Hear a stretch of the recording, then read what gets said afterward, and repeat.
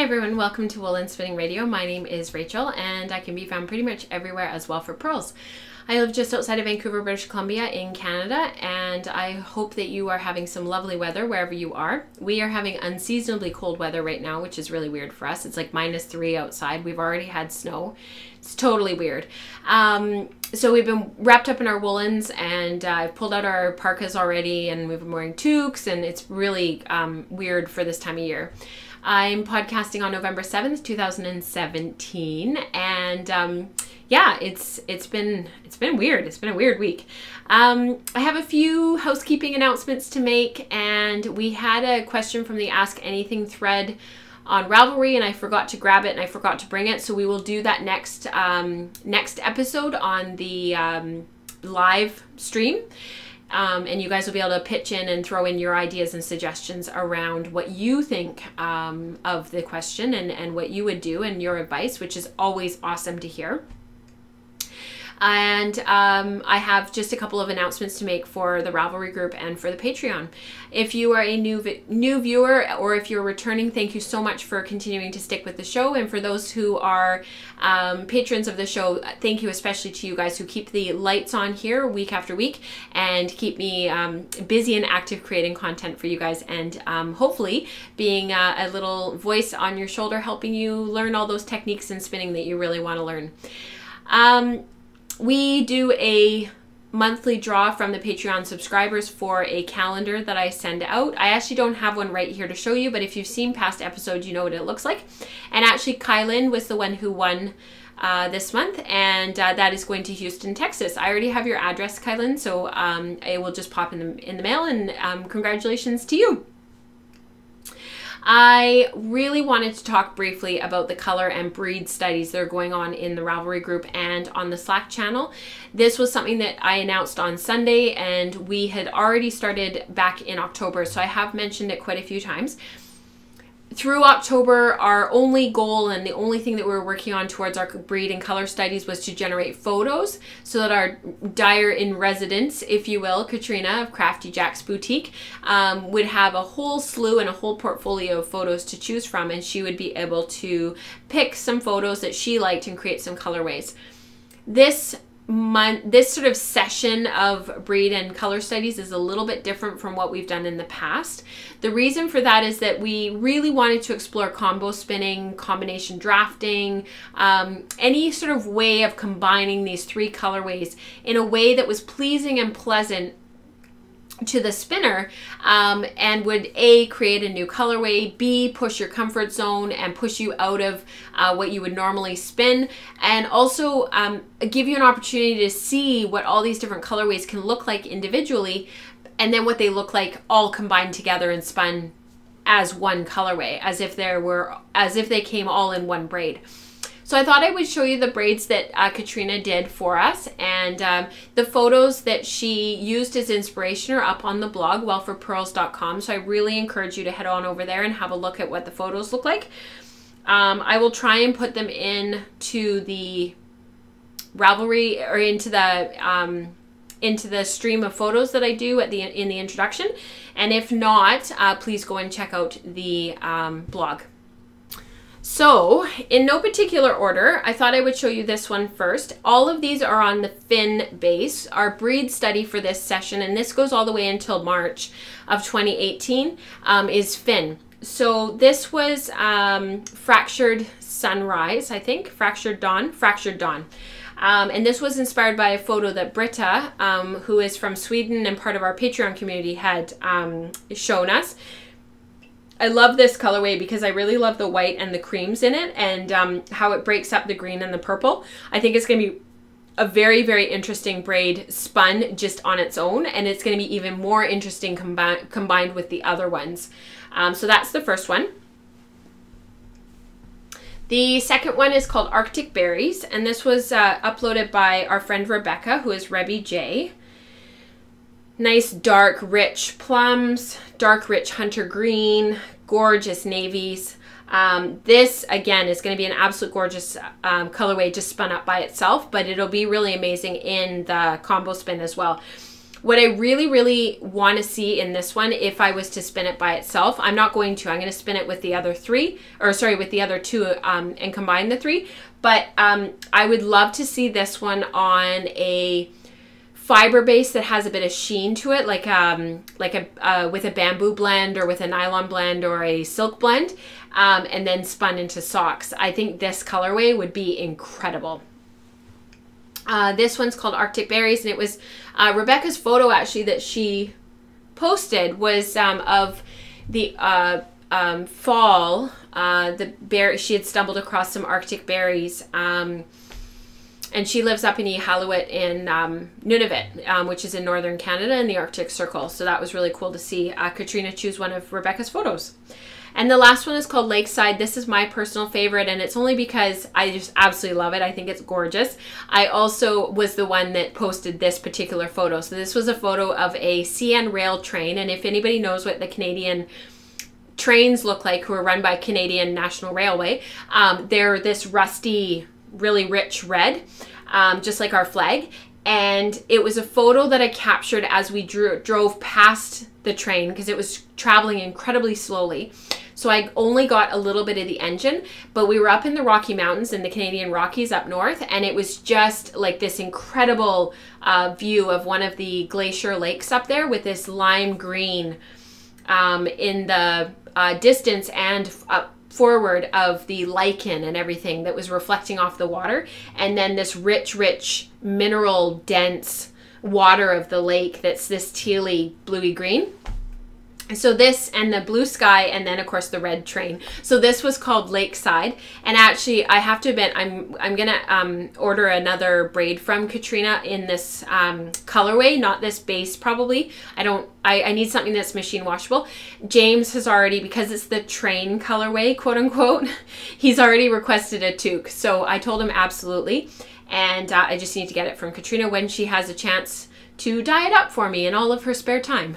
So if you're a Patreon member of the um, community, you will have received your um, Patreon discount code for the Color and Breed Studies um, to use in, in Katrina's shop. You need to check Patreon if you missed that post. It was uh, the Color and Breed Study post. And for everybody else, if you would like to participate, please feel free to participate. Um, the listing is up in, in Katrina's Etsy shop, um, Crafty Jack's Boutique, and there's a um, blog post on the blog. There's um, information in the Ravelry group. There's information on Patreon. You just have to uh, go and seek it out. If you would like to participate and spin up some Finn of your own and participate in the breed study with us, that's wonderful. If you would like to do your own combination spin and explore colorways, please come on over and join us. It's open. Um, it's just really nice to see everybody working on the same thing so that we can compare and contrast what we chose to do with our with our fiber but everybody is welcome. Please don't think that you're not able to participate just because you maybe can't or don't want to buy the fiber at this time. I think that's everything for housekeeping. The only last um, announcement that I need to make is that the latest episode of Wool n' Spinning Radio for Patreon subscribers is out. It is a conversation between me, Katrina, and our friend Becca over on the other side of the pond in um, Glasgow in Scotland. We had a lot of laughs. We had a lot of fun recording, and I hope that you will check it out because it was probably one of the funniest episodes to date. Um, so let's get on with the show.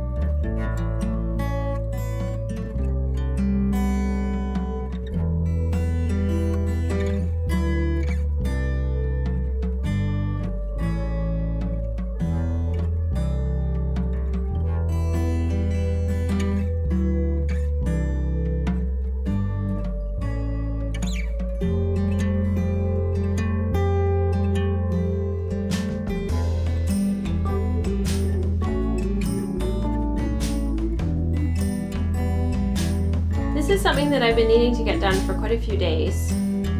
And I also really needed to record the podcast. So I thought, well, since you guys always have to watch me talk and talk about my projects and whatnot, I thought today I would actually just walk you through um, actually physically working on something and actually physically trying to get something done. Because uh, this is sort of something that's been on my to do list for a while, and uh, I would really like to get it done. So, what better way to get it done than to uh, bring you with me? Um, I am working with my Majacraft Suzie right now, and I am actually just um, making some adjustments so that I can wind my bobbins.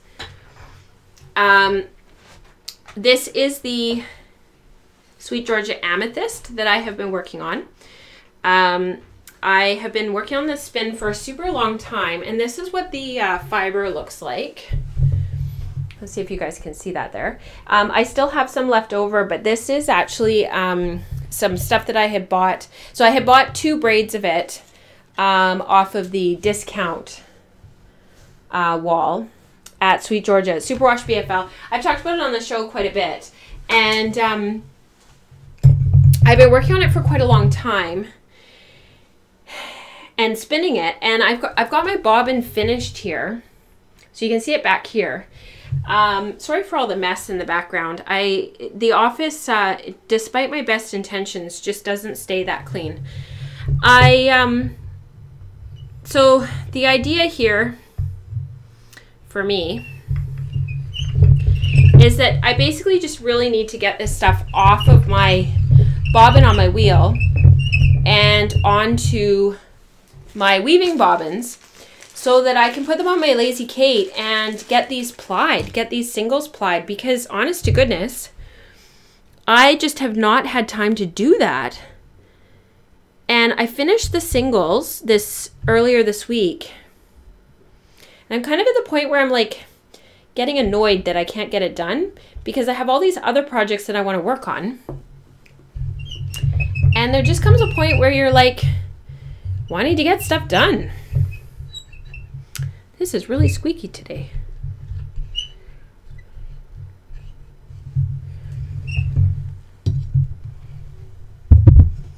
So I spun these singles with the intention of making a three ply sock yarn. That is still my intention. Um, I made these singles really, really, really high twist and I spun on 14 to 1 on my Majacraft Suzie. I have a Majacraft Suzie Pro. Um, I've talked about it on the show before. I, I haven't had it for very long. Um, it took me a really long time to find one secondhand. And this was part of my, this particular spin was part of my spin the bin that I've been working on this year. And one of the reasons why I really, really wanted to include this particular fiber in my spin the bin is because I had originally bought it for blending and carding. And uh, I just never could bring myself to blend it up and to include it in everything that I was carding up and blending um, on my drum carder. And I think a lot of it is because, I'm sorry for all the squeaking. Holy smokes, this thing is squeaky. Um, and I think a lot of it is just because I love these colors so much. And every time I pulled this particular braid out, Nora would say, oh, I love those colors, Mummy. I love that purple and I love that magenta, which is great. But it made me keep putting it aside. And I have two braids of it because I got it off of the sec seconds wall at Sweet Georgia. So they have a bin of fiber um, at Sweet Georgia that sort of it's been dyed and something went wrong, like the colors separated or they didn't take or the braid broke or it's not a complete four ounce braid or um, there's lots of reasons that they um, put put stuff in the seconds bin. But what I really enjoy about it is you can get uh, really great fiber if you're willing, especially if the braid is broken, um, because it's still the same as buying a four ounce braid off of the wall that's perfect, except that um, in that case, it's just broken. So if you don't care, um, I personally really like it because um, I can still get the colors that I want. And granted, sometimes the colors that I want to spin or I want to blend aren't there, but that's okay. Um, you can work with it. Now I'm looking for, as I'm winding these bobbins, I have three sets of, I have three singles on this big bobbin on the, on the Suzie. So I have to be ever vigilant for the breaker, and I'll show you what that is in a minute. And if you've seen one of my other teaching content videos that showed how I wind all these singles, you'll know what I'm looking for. But I actually spin in some fiber that's different from the base fiber to separate the singles so that I know when I need to uh, stop.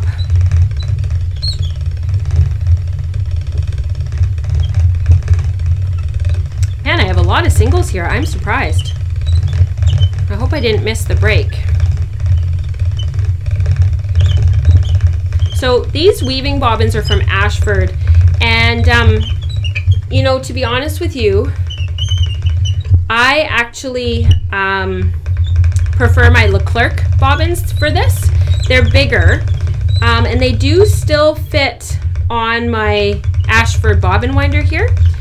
Um, and I really like them and I'll show it to you in just a sec because it's right over there and I can grab it and show it to you. I hope I didn't miss the fiber break because I think I'm thinking that I did. I was talking away and I think it went sailing past me.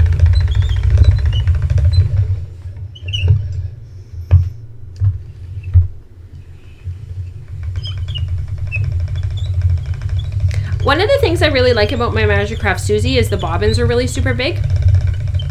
So I find it really, um, it, it saves a lot of bobbins. Oh, there it is. I, it saves a lot of bobbin switching um, to be able to spin, especially for a three ply, to be able to spin all of my singles to one, um, to one yarn. So this is um, some white fiber that I had uh, just laying around that was um, just junk and I spun it after, so this is um, a third of the braid here. And I spun this little length of fiber um, so that I would know where I need to start my next bobbin, my next weaving bobbin. So this, that was the first singles. And then this is the second singles. Um, one of the things I really, really liked about spinning this fiber, um, I really like BFL. I, I prefer normal BFL. I, I, I don't love superwash BFL. One of the things I really enjoyed about this spin was the uh, sheen of the fiber. Um, I really enjoyed the, the different shades of purple and the magenta coming through. And Nora um, was around a lot when I was spinning this, and I think she really liked it as well. Um, she kept telling me how much she liked the different colors of purple on the bobbin, and it actually made the bobbin like really pretty. The bobbin was uh, as I was spinning and you have all these different colors of purple. I mean, you can see it behind me a little bit. I mean, it's so, so pretty.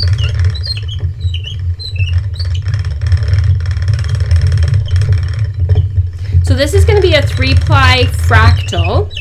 Um, that last set of singles that we just took off, um, this one here, uh, was the the braid was only divide the, the the third of the fiber of the of the 100 gram uh, um, braid I only split it five times, I think, or four times. I feel like it was five. And I spun it uh, end to end. I stripped it down five times. When I say when I say divided, I mean that I stripped it just lengthwise, the length of the that section of the braid that I had. For this spin, I took the braid, I laid it out, and I split it horizontally and then I stripped each section because I wasn't too concerned about the colors matching up. I mean, this is a semi-solid. It's not um, going to make a whole lot of difference. The fractal is going to look very similar to what a three-ply, a traditional three-ply would have looked like. But I really, really liked um, the idea of this one having these really long color repeats going through the whole length of the yarn. And I'm really hoping that when I knit these socks that that'll get picked up in the sock itself, that you'll be able to see that. I don't know if it'll work out. I have no idea. I have to knit them. But that is one thing about spinning a fractal with a semi-solid is you get these long repeats of these of, of these colors. Because like look at how long this purple's been going for. And it's only very, very slowly transitioning to the magenta now. I mean, it's so pretty.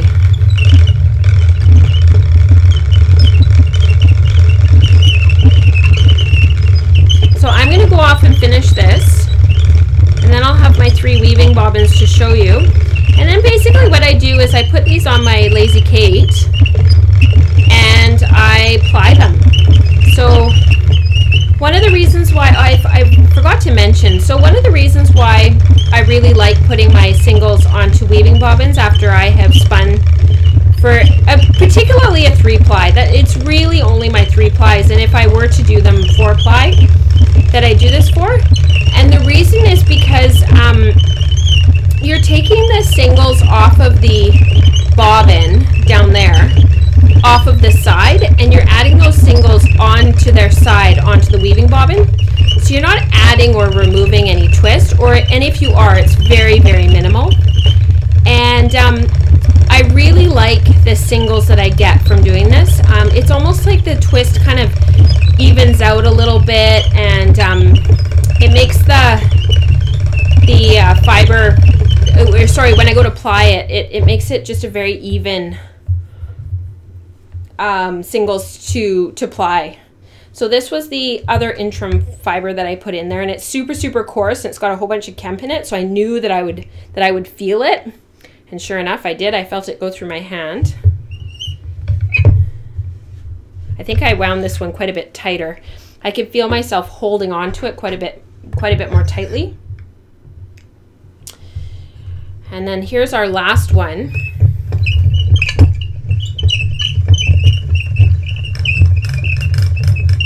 And then I'm done. My back's starting to hurt standing in this funny position. I worked out this morning. I had a my favorite class of the week is on is on uh, Tuesday mornings and it's at 5:15 in the morning, which some of you are like, "Oh my gosh, it's crazy."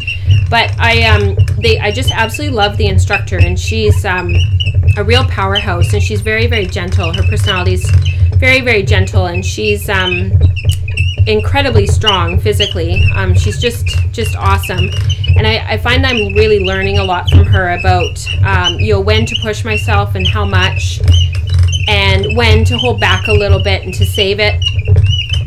And uh, she's so positive and so um, welcoming that it makes you want to go. And she uh, she teaches a lot of classes at the gym, but in the mornings. Um, you feel like you've got her. It's almost like a semi-private because there's only like five of us in the class, and uh, she gives us all sorts of gems of knowledge and things to keep in mind about our physical fitness and nutrition and how much we're moving and what kind of movements those are and she's just really awesome she used to be a power lifter so you can imagine the type of muscle that she's got although she says she's a lot smaller than she used to be because she's lost a lot of her muscle muscle mass from um, not lifting as a power lifter anymore. But it's so worth it to get up in the morning because she teaches uh, three days a week in the morning, and I go to every single one of her classes. And I get up at 5:15. And you know, the first week, the first week and a half, it was really, really hard. And I found by like three o'clock in the afternoon, I was really crashing. And it was almost like something like after two weeks, it was almost like something like I don't know, kind of flipped or a switch went on or I'm not really sure. Um, all of a sudden it wasn't hard anymore and it was really easy and I looked forward to getting up and now often I'm awake at 4.30 when I don't have to be awake until 4.45 but I'm actually waking up at like 4.30 ready to get up and out of bed which is pretty incredible because I wouldn't have said that a couple of months ago. Holy smokes, let me tell you. I was really coveting my sleep back in the summer and really uh, feeling like I needed more sleep and that I wasn't getting enough sleep. And I've always been an early to bed kind of a person.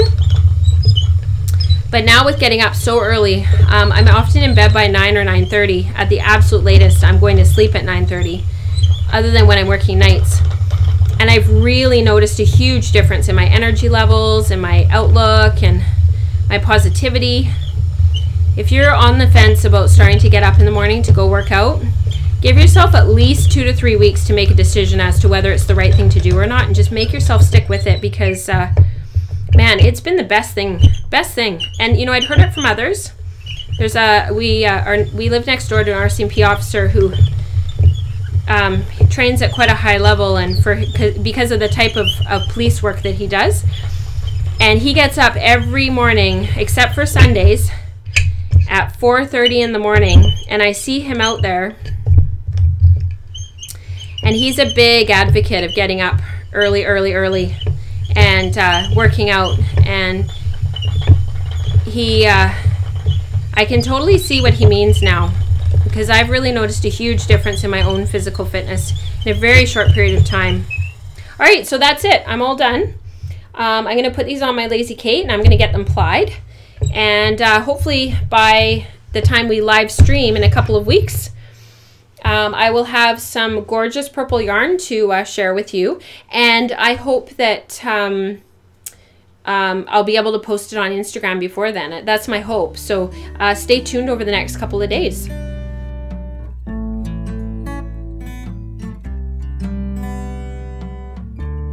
So I usually spend um, most of my time on the podcast talking about sweaters that I make that are not out of that are out of hand spun, not out of commercial yarn. But because I royally messed this one up, I thought that I would share it with you on the podcast because I did talk about it last time in the live stream and I shared it alongside some other stuff that I had been working on. And I thought a, um, a really cool way to follow that up was to show you um, the finished object. So this is the Veronika sweater by um, Shannon Cook. Um, Shannon lives locally to me. She's um, just over on the island, on Vancouver Island here in British Columbia. She's about um, three hours away via ferry. And this was something that as soon as she published the pattern, I really wanted to make it. Um, and I talked to you about it last time. So I showed you the finished sweater last time. You'll remember uh, me making fun of myself because I literally omitted 10 inches of knitting through the back. So I misread the pattern. Um, I thought that it said one measurement and it actually said another one. So when I got to um, what I thought was the finished measurement, I started to decrease the collar and started to shape for the front and I had cast off these stitches here at the back that you cast off as and, and then you uh, finish up with your left front. So the sweater is an interesting construction. Um, it's actually knit by starting at the lower right hand side, knitting up, and then you cast stitches on and you knit across the back all the while you are shaping the collar at the same time. So this is all knit at the same time. And then uh, you get to uh, the measurement at the back for your size. Do a couple of um, sh shawl, shawl collar decreases. Uh, bind off a bunch of stitches. And then you're going to knit down the front so to finish the left front. So it's a really interesting knit. Um, I knit mine all on five millimeter needles. I did not do a gauge swatch beforehand because I had knit with this yarn before and I knew what my gauge would be. Um, what I, I used uh, West Yorkshire Spinners uh, Aran. It's more like a worsted weight, and I would even say it's more like a light worsted. Um, it's very, very similar to Cascade 220, um, although I think that it's more tightly spun, and I prefer the feel of the yarn um, compared to Cascade 220. I think that this yarn is machine washable, but I can't remember. Um, and I don't have a ball band with me right here, so I can't check. Uh, but I will look and I'll pop it in the notes down below here. So you'll probably be reading that while I um, try to remember. I finished this yesterday. I haven't actually woven in any of my ends yet. So all the way through the sweater, I do have ends to weave in. I used, I think I used five balls of yarn, I think. And the last ball of yarn that I used, I may have dipped into the sixth ball of yarn or I may have dipped into the fifth. I can't quite remember. Um, I only used that last bit of yarn uh, for the lower ribbing at the back. So after all is said and done, before you seam under the arms here, um, you pick up and knit the ribbing at the back and then you cast off, seam together, and you've got your finished sweater. I didn't make any modifications other than adding a seam stitch on either side of all of the ribbing. So instead of however many stitches it told you to cast on, I added one stitch. So either side, my left and my right front had an extra stitch and my ribbing at the back down here, instead of knit one, purl one to begin and end, I actually had knit two and then the one by one ribbing and then at the end I had knit two. And that just gave me a seam stitch on either side so that you had a really, really nice seam under the arm there. Um, in terms of fit, it's a really interesting shape. Um, I am an hourglass. Uh, a lot of people think that I am a pear. I am a pear, um, but when you actually do my measurements and when I actually sit down and look at the numbers, my shoulder width is actually the same as my hip width, which makes me an hourglass. And my waist is um, quite a bit smaller than my um, hips. So full disclosure, my hips are 41 inches around at the uh, fullest place and up here around my shoulders is actually 40 inches. Um, and my waist is actually only 29 depending on the day 30 31 inches. So there's a 10 inch gap between my waist and my hips which makes sense um, because i am an hourglass. So um, and when i before i had kids i was about a 28 inch waist and i have always been a 40 to 42 through my hips for as long as i can remember the reason why I'm telling you all of this is because um, this particular sweater shape, uh, when I was at, when I was about halfway through knitting it the first time, I was really questioning whether I had made the right decision about making a sweater like this um, because I have such a full bum um, and my this whole area on the dress form it looks like it it falls really nicely.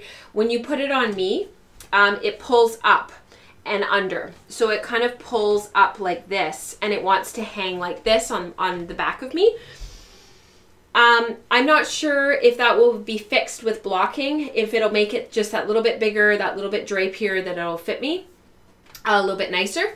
Um, right now, I'm not sure that I can see myself wearing this because of my shape. Um, unless the front comes down quite a bit and relaxes quite a bit, um, I'm it's just not a great shape for me. It, it, it feels very boxy on me. The funny thing is, and I'll show it to you right now, when I'm wearing a big shawl like this, this is the Eastern shawl by uh, Stephen West. It's knit in Berroco Ultra Alpaca. It's not hand spun. I've never talked about it on the show. Um, when I put this on myself, wearing a big shawl like what I'm wearing, it's actually kind of okay. and I think that's because it sits about five inches back from where it's supposed to sit.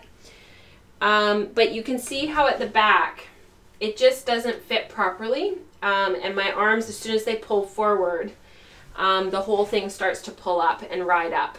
And I can feel it when I'm wearing it. Like I can feel that it's not in the right spot. Um, and I can feel that it's not that it's not a great fit on me.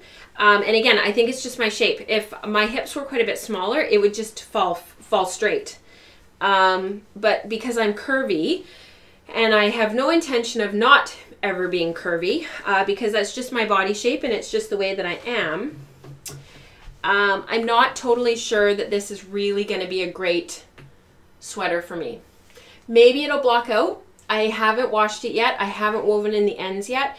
Part of me wants to wash and block it before I do that, only because um, I don't want to go to all the trouble of weaving in all the ends to rip it all out. So um, I've already done that once because I made that mistake um, with the knitting.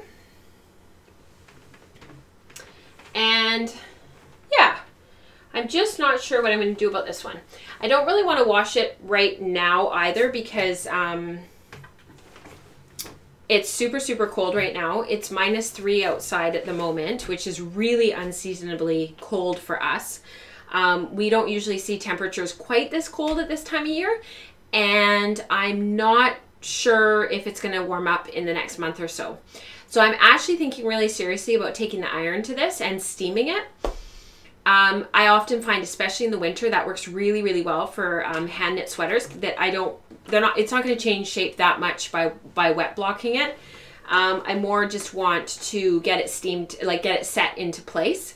And ironing and steaming can do that same thing without actually getting the garment soaking wet when it's really, really difficult to get it dry. So I'm going to keep you posted and I'm going to keep thinking about it and I will make a decision probably this afternoon at some point because I have about half an hour of me time where I'm going to work on some stuff for the podcast and uh, work on some of the Patreon stuff. And it gives me a chance to sort of reflect on what I want to do.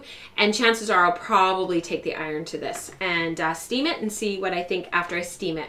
If I do steam it, and I still don't like what it's like, I'll leave it for a bit. I will probably rip it out and if I don't like it and I will reskein the yarn and then I will wash it and I will wet wash it. I'll put it into like wet water uh, with some eucalyptus and then I will hang it to dry and whenever it's dry it's dry I'll put it over a vent somewhere. Um, because I find after you've steam finished yarn you really have to um, rewash it to get all the kink out of it. So that's the only thing um, I, I, I, don't really like to steam finish yarn and sweaters unless I know for sure that I'm not going to rip them out. So, um, yeah. I know one of my friends, my friend Jess, she knit this. It looks amazing on her. She has a different shape from me though. Um, so I do think that that makes a big difference. She actually put a clasp here at the front uh, to hold it closed and it looks really awesome. And I have thought a little bit about doing that myself um, because it's just a natural shape for the sweater to take and for the poncho to take. And I think it actually um, finishes it quite nicely. And so I have thought a little bit about maybe doing that myself. So that is the Veronika sweater, Veronika Cardi by Shannon Cook.